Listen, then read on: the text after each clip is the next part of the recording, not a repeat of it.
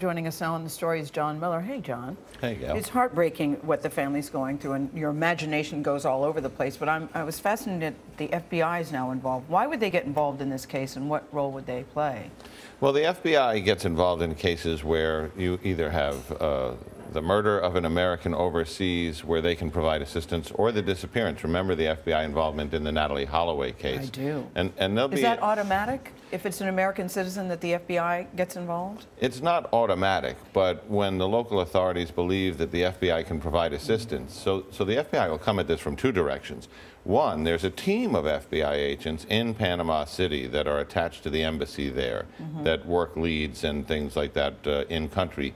A couple of them will be dispatched and they have the key liaison with the locals. But there's another team that'll come from the Miami Field Division of the FBI and they'll actually do the investigation here. And the ability they have being a global organization is they can send leads to Costa Rica and FBI agents who are assigned there can run them down. They can certainly send leads all around the United States, provide lab support, technical support, uh, evidence recovery, the divers, other things.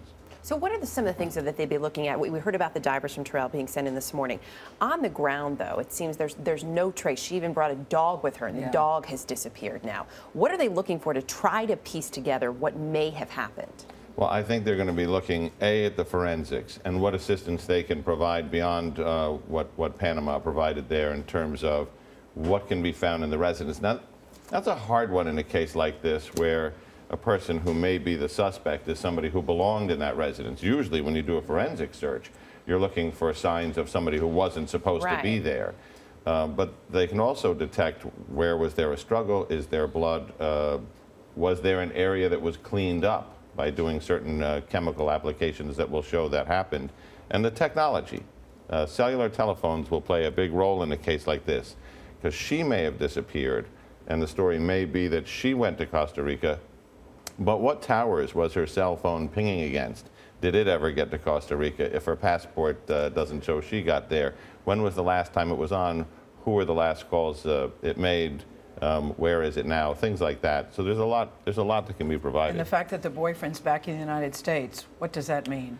well, that What- means what can they do? That means for coordinating the FBI's end of the Panamanian investigation.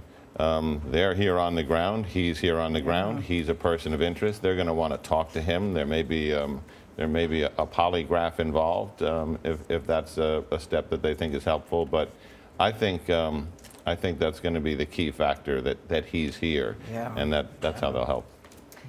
John, thanks.